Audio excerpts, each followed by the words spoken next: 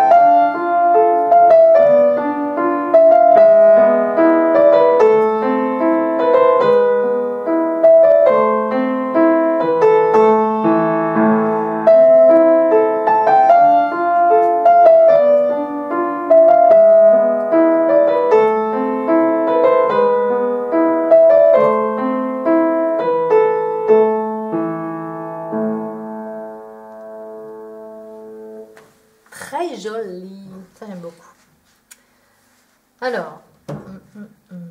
Regarde le rythme de clé de Fa. Quel est le rythme qui se répète? Je te laisse deviner, mais la vidéo sur pause. C'est un petit peu plus difficile, on n'a pas de rythme qui revient tout le temps. Mais on peut remarquer qu'au début on a des blanches et ensuite on a surtout des noirs. Et en clé de sol, est-ce qu'il y a un rythme qui revient? Clique sur pause pour trouver On a principalement des croches. Elles sont par 2, par 3 et par 4. En fait, j'ai analysé trop vite et j'ai pas remarqué quelque chose concernant le rythme. Est-ce que toi tu l'as vu? Je te donne la réponse tout à l'heure. Alors maintenant les phrases. Est-ce qu'il y en a une qui se répète? Donc regarde la mélodie, elle est au début de ton morceau en clé de sol. On a la la do do si. Est-ce que tu la retrouves ailleurs? Clique sur pause pour trouver. Réponse En fait, il n'y a pas de phrase qui se répète. Alors dans ce cas, comment on fait pour trouver les phrases? Tu as un indice, ce sont les barres de reprise. C'est-à-dire que jusqu'à la reprise, c'est une phrase. Et jusqu'à l'autre barre de reprise, on a une autre phrase. Comme tout à l'heure, j'ai analysé trop vite et je n'ai pas remarqué quelque chose concernant les phrases. Peut-être que toi tu l'as vu, je te donne la réponse tout à l'heure. Si on résume la lecture, le rythme en clé de Fa, on a des blanches et des noires, et en clé de Sol principalement des croches. Et il y a deux grandes phrases, elles vont chacune jusqu'à la barre de reprise. Comme je l'ai dit tout à l'heure, hein, je déchiffre à vue, je n'ai jamais joué le morceau, donc je risque de me tromper. Et comme tu l'entendras, ce sera le cas.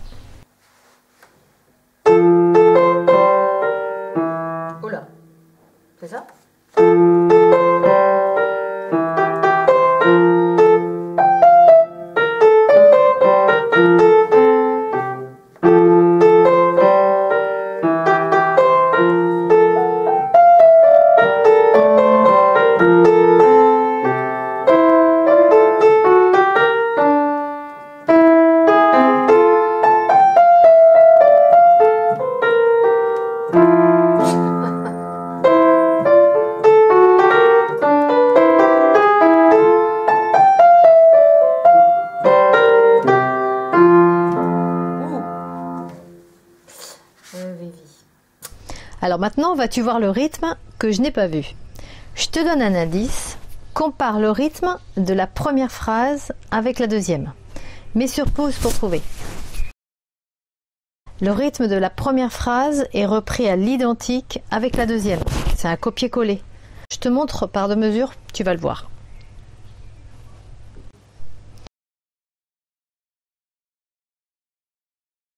Et maintenant les phrases, vas-tu trouver? Alors, comme c'est un petit peu plus difficile, je te donne un indice. Regarde la courbe des notes de la première phrase. La courbe des notes, c'est le mouvement que font les notes. Et compare avec la deuxième phrase. Mets sur pause pour trouver. Réponse. La deuxième phrase est le miroir de la première phrase. Elle est à l'envers si tu préfères. Dans les deux premières mesures de la première phrase, les notes montent. Et dans la deuxième phrase, c'est à l'envers comme le reflet dans un miroir. Et c'est pareil pour les deux mesures suivantes. Les notes qui montent dans la première phrase descendent dans la deuxième phrase. Et pour les mesures suivantes, là par contre, elles vont dans le même sens, elles descendent. Si je résume à nouveau la lecture, donc le rythme de clé de Fa n'a pas bougé, hein, on a toujours des blanches et des noires.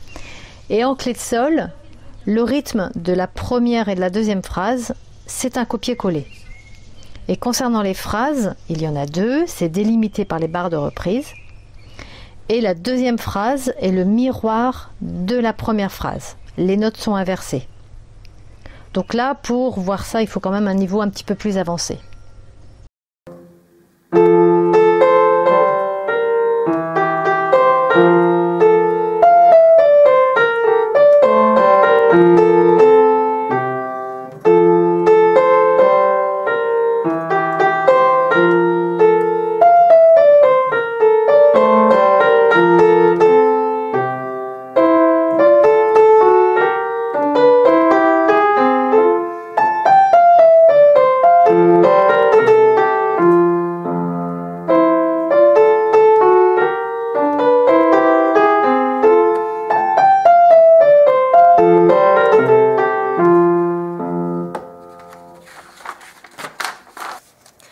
Pour résumer, si tu ne sais pas quoi voir sur ta partition, repère ces deux indices, le rythme et les phrases.